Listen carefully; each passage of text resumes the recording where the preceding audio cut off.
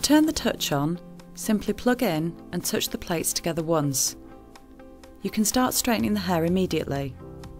In order to change the temperature, touch the plates together three times to take it down to 165 degrees, then twice to take it back up to 195 degrees. Section your hair in half, bringing the hair forward.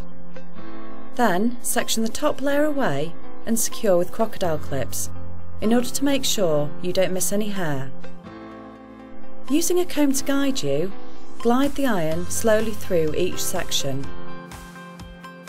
Once straightened, style as required.